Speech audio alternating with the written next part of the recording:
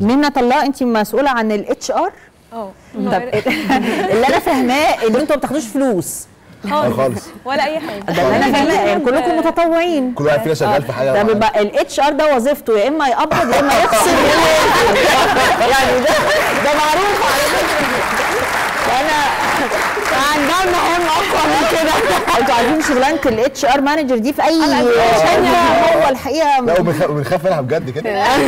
بس أنا أكتر حاجة يعني بتضايقني ك HR هي ال process بتاعت إن أنا أقول لحد انت المرة دي ما اشتغلتش كويس. لا إحنا ال HR عندنا إيه المفروض ده هو يكون- انت بترفديهم برضه؟ مفيش مفيش فلوس. لا لا لا أيوة. الموضوع مش رفض على قد ما إحنا عندنا آه، عدد معين لازم نكون ملتزمين بيه. مثلا لو إحنا قلنا إن إحنا معانا 50 شخص فال event بتاعنا أو ال project اللي إحنا نازلينه دلوقتي هيكفي العدد المعين ده وال- والمسؤوليات اللي هناخدها برضو للعدد ده.